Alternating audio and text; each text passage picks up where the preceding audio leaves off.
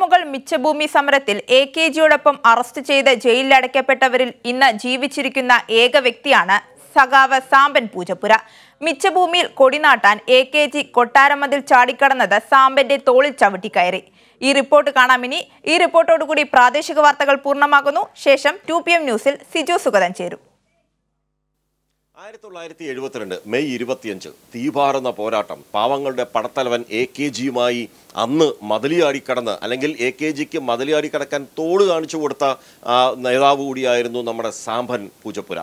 അദ്ദേഹം ഇപ്പോൾ എന്നോടൊപ്പമുണ്ട് ഇനി അദ്ദേഹത്തിന് അന്നത്തെ ആ ഓർമ്മകളും ആ കഥയിലേക്കാണ് നമ്മൾ ഇനി പോകാൻ പോകുന്നത്. നിയമം വന്നിട്ടും മിച്ചഭൂമി വിതരണം ചെയ്യാൻ വിമുഖത കാണിക്കുന്നതിലുള്ള രോഷമായിരുന്നു അമ്പത്തിരണ്ട് വർഷം മുമ്പ് നടന്ന സമരം.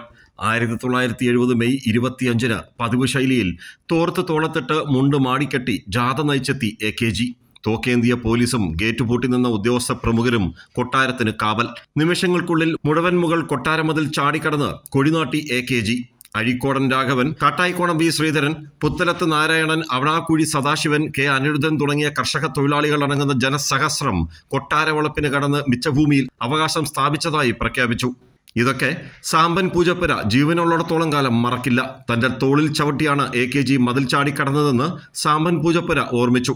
അങ്ങനെ ഞാൻ അതിന്റെ തലേ ദിവസം രാത്രി കണ്ടുപിടിച്ച ഒരു ചെറിയ വളരെ പൊക്കമില്ലാത്ത ഒരു ഭാഗത്ത് വന്നിട്ട് എ കെ ജിയോട് പറഞ്ഞു എന്റെ തോളി ചവിട്ടി കയറാൻ പറഞ്ഞു. ആ മഹാനായ എ കെ ജി ആ തോളി ചവിട്ടി മതിലിന്റെ മടയിൽ കയറി.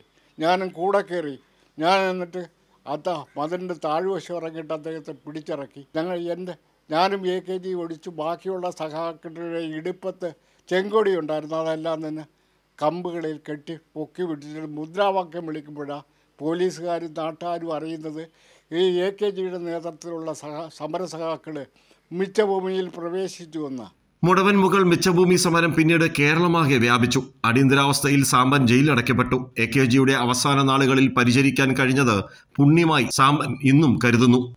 രാജാക്കന്മാരുടെ പക്കലുണ്ടായിരുന്നത് ജന്മികളുടെ പക്കലുണ്ടായിരുന്നത് അതിസമ്പന്നന്മാരുടെ പക്കലുണ്ടായിരുന്നത്. അത്തരം ആളുകളുടെ കൈവശം ഉണ്ടായിരുന്ന അനധികൃതമായി അവർ സൂക്ഷിച്ചിരുന്ന ആ ഭൂമികൾ മിച്ച ഭൂമികൾ മുഴുവനും അന്ന് സി പി ഐ എം എന്ന് പറയുന്ന ചെങ്കൊടി പ്രസ്ഥാനമാണ് അതെല്ലാം ചൂണ്ടിക്കാണിച്ചത്. ഭൂപരിഷ്കരണ നിയമം ആ നിയമം നടപ്പിലാക്കാൻ സി പി എം ഒഴുക്കിയ ചോര ചില്ലറയല്ല. അത്രമാത്രം കഠിനാധ്വാനം വേണ്ടി വന്നു ആ നിയമം ഒന്ന് നടപ്പിലാക്കി കിട്ടാൻ.